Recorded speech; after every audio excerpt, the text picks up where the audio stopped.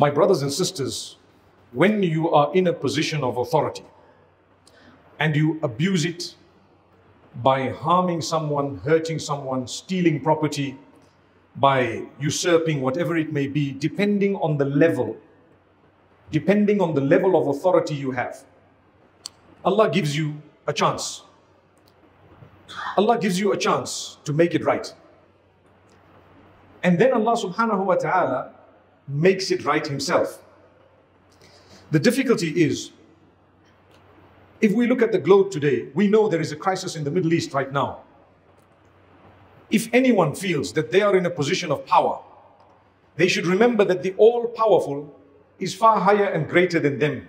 So if they are to use that power in the wrong way, heavy handedness, in this particular case, the killing of innocent people, the fighting, the usurping of land, whatever it may be, they will never get away with it. Maybe temporarily they might be excited to think that we're winning.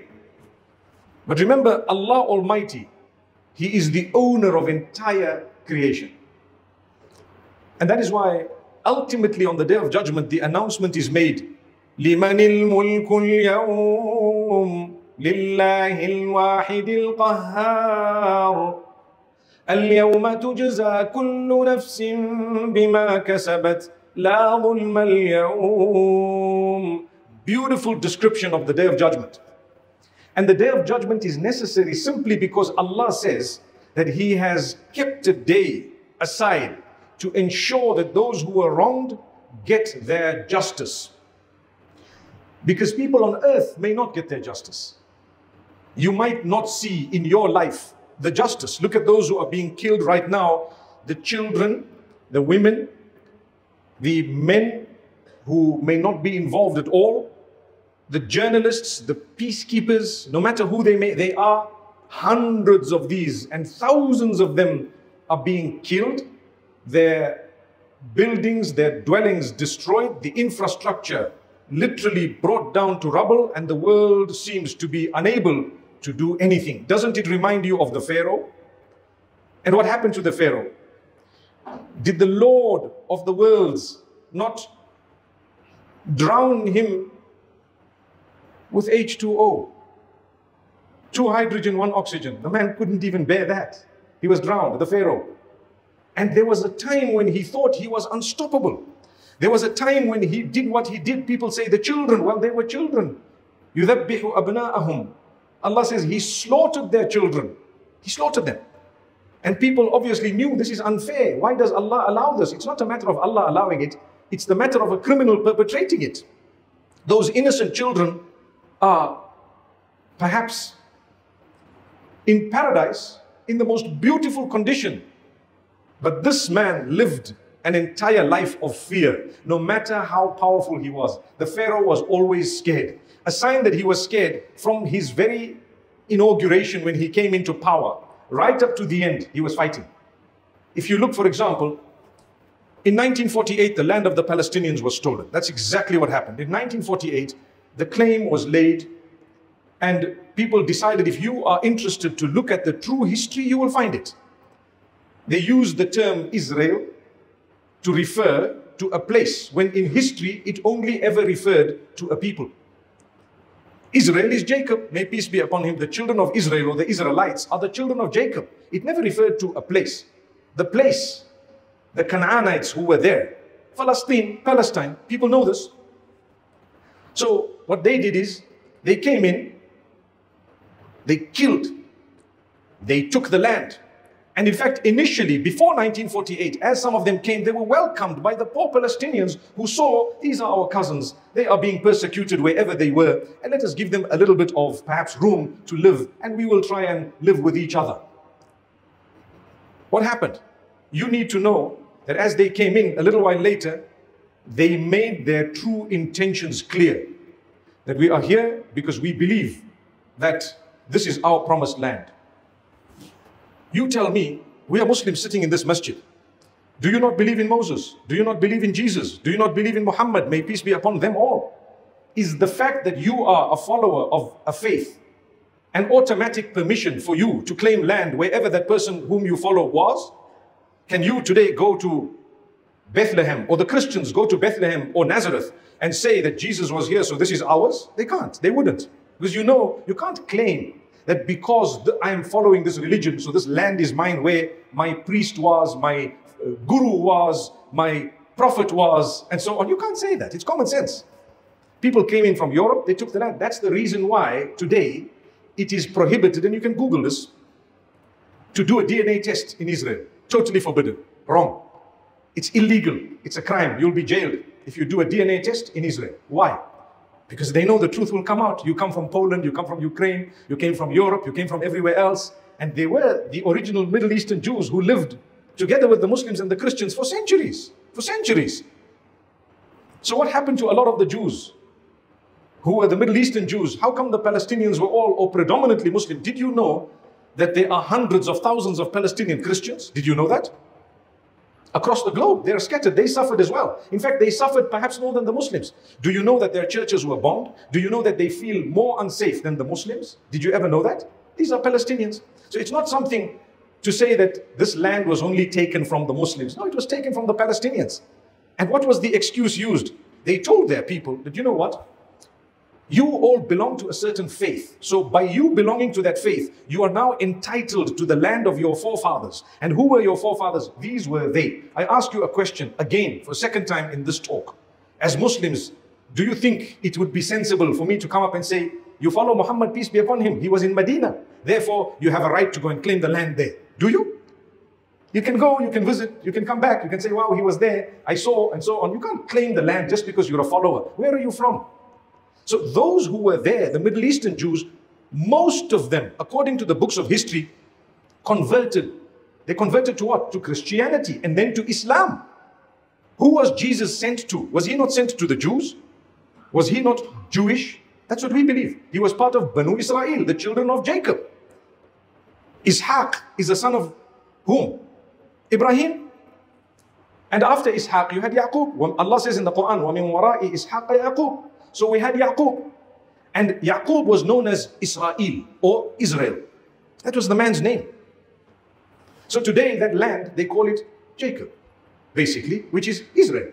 Jacob. Why don't we use the word Jacob? So the people of Jacob, that's what it is. It's not the land. This is something we need to know because people claim, and so many of our Jewish brothers, and when I say brothers, I'm talking of the non Zionists. Remember something a Zionist is a person who believes that this land of Israel is ours. We will claim it and steal it from the Palestinians, and we need to create a state for ourselves there. That person is called a Zionist. Do you know there are hundreds of thousands of Jews, if not perhaps maybe it goes into the millions, who are not Zionists? They believe we are not supposed to have that land, it's not ours. We know the truth. Do you know? There are so many. Now, because of social media, we have found out, we have seen them, we have watched them say things that listen, I am Jewish and I believe that we're not supposed to be having that land. It belongs to the Palestinians. And we come from either Europe or America or anywhere in the world. But ever since they were young, they go to their schools, like what we would call a madrasa, and they were never taught the truth. They were always taught, your land is Israel. You need to go back. You need to go back. They were taught that the only place that a Jew would be safe is Israel, when the truth is actually the opposite. The only place that a Jew is unsafe is Israel. That's the truth. They need to think about this. It's a fact. From 1948 to this minute, there is no peace there. So, how can you lie to your people that the only place where the Jews will be safe is Israel, when the truth is exactly the opposite? The only place that they will be unsafe is Israel. There are Jews amongst us in this community, perhaps in this city of Bulawayo, as well as in Harare. They are very safe. They are very safe. There are Jews in America and Britain and everywhere else across the globe. In fact, in the Middle East, there are Jews in Iran, there are Jews in Algeria, there are Jews in so many other countries. Did you know that? Are you aware of that? There is healthy Jewish communities in many of these countries. They are so safe. So the only place they are not safe is a place they stole. They stole the land. They went in just like the colonizers did. If you know the colonization of Zimbabwe and how it happened, exactly the same way they went to colonize this place. And they used religion in order to fool the people. And that's what they did everywhere. You, if you were to look at our country here, and I'm not going to go into the history, you need to study and study hard. What's the meaning of studying hard? Don't just believe the first things you read. Go back, go deeper, go deeper, check, go see what's happening. Learn. You will, re- you will realize that these struggles are all the same. That's why Nelson Mandela said that South Africa will never be truly free unless and until Palestine is free. Because it's the same thing. You came in, you took the land from the Arabs, and that's why you stick out like a sore thumb in the Middle Eastern region, and you, people just have to look at you and know you're not from this region. You look at me today, I can never ever lie to you that my ethnicity is Zimbabwean. No, I'm Zimbabwean by birth, I'm Zimbabwean by nationality, but the fact that you look at my face, you can automatically know that I come from somewhere else. Do you not agree? No one can deny that. I'm not saying I'm not a national. I'm a national. I'm loyal to my nation, by all means. But truth be told, are you originally from here and your forefathers, as you claim? Be honest and say, no, we came in two generations back or three generations back. But for them, they say, let's go back 3,000 years. Well, I have a good idea. Why 3,000? Let's go back to the beginning of everything. Where was Adam from? On earth. Can't we all go anywhere on earth and say, my great, greatest grandfather had this land, move off its mind? The claim you have is the claim I have. If I could go back 3,000 years, I can go back 30,000 years. What's the difference? In fact, it's healthier and stronger and more just to go back 30,000 years. You want to go back to David, I want to go back to Abraham. Abraham had two children, Ismail and Isaac. They were brothers. These are cousins fighting for land.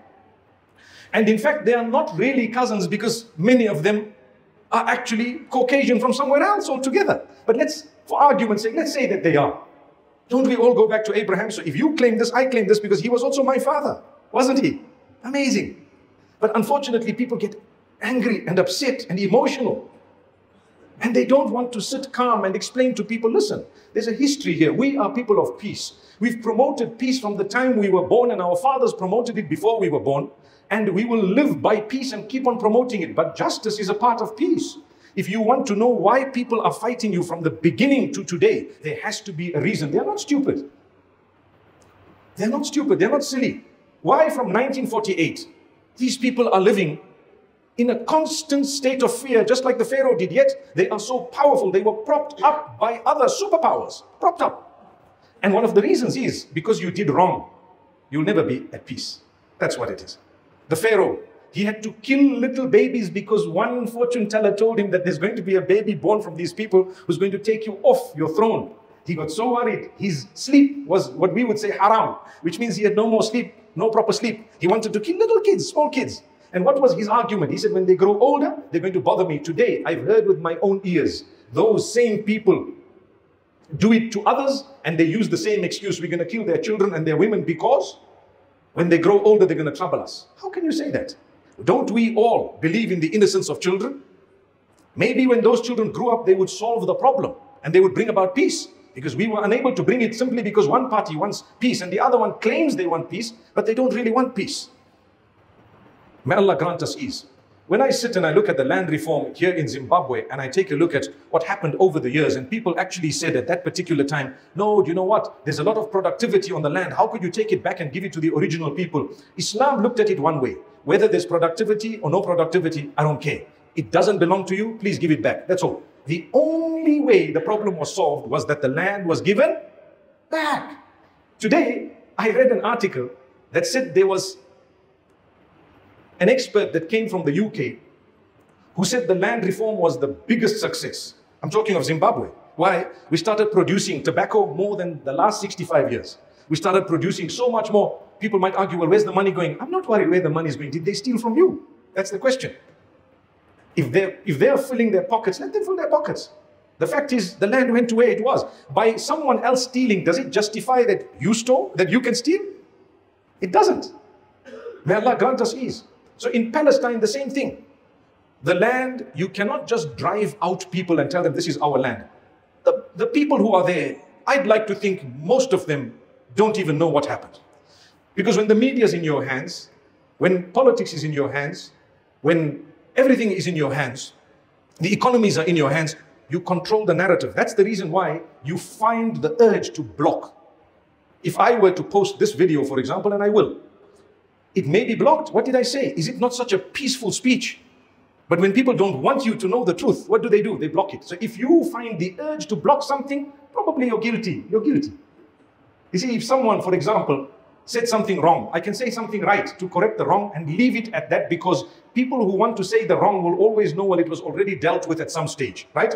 But if I delete that whole thing, or I delete what is right or what is wrong, the narrative is not known by anyone. Today, if someone wants to study, the material they find on the matter is very little. When I studied the history of Zimbabwe, for example, I had a lot of questions of how Christianity came into this country, how the Muslims were in the past, who they were, where they were, what impact did they have on the nation. And can I tell you what? When colonizers come in, the first thing they do, they delete history so that you don't know what happened.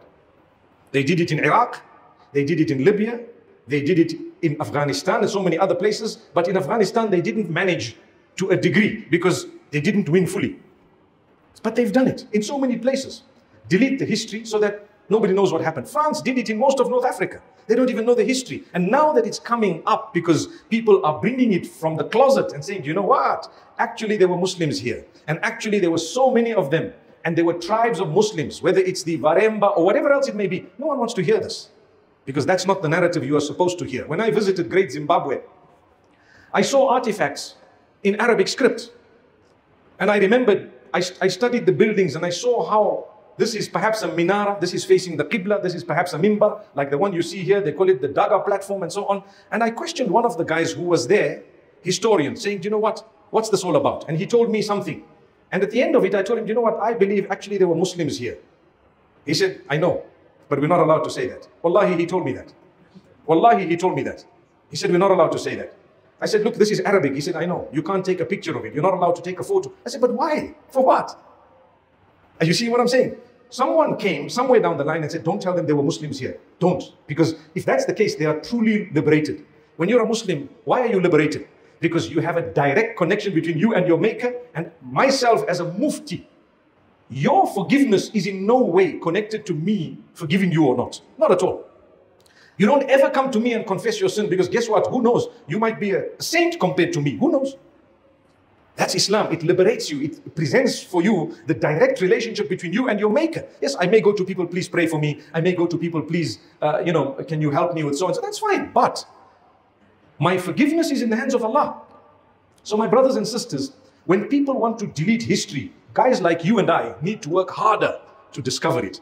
Today, with the advent of social media, we are very fortunate. I have learned from TikTok more than I've learned from anywhere else on social media within the last few weeks about Palestine and about Israel and the Jewish people who disagree with the state of Israel and the people within Israel who are saying we don't want to fight we really don't want to go to war we disagree with the sporadic killing of these of these children and women and so on and we need to make peace and we need to have a solution be it a two state solution or whatever it's going to be there are Jewish people who really would like to see peace and I've come across so many of them. There are Christians for the first time realizing that they hate the Christians more than they hate the Muslims, but it's a matter of time. Because at the end of the day, they want to rule the world. That's what it is. So if you let it pass today, tomorrow it's coming to you. What do you think is going to happen? I want to end on this perhaps. Say everyone in Gaza is killed, for example. May Allah protect them and grant them true victory. I mean, say everyone was killed. Now what? You think you're going to stop there? There are people who are going to fight you tooth and nail until their very existence from all across the globe for a long, long time because their families, their relatives are all over the world.